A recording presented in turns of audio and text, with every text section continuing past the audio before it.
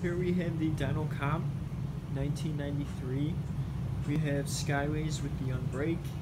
We have the original fork, handlebars, pedals, stems, bearings, C clamp, C post, crank, sprocket, seat, and then we're going to throw on a new touch. We have these original proponent brakes, still waiting on the proponent brake handles.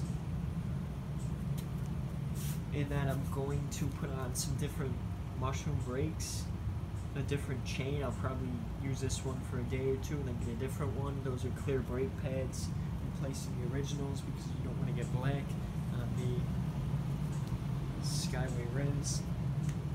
This is the 1993 frame with the Dyno logo. You can see it right there.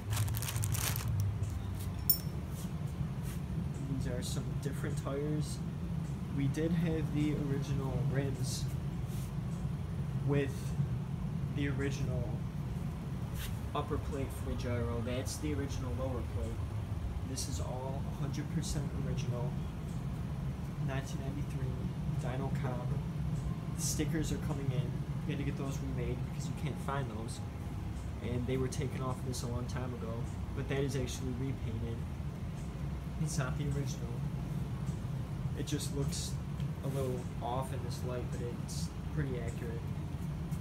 And you had to switch up on the grips because even though you can get the original grips, they're, they're falling apart. And it's just not exactly worth it to do that unless you're putting it in shows or something like that.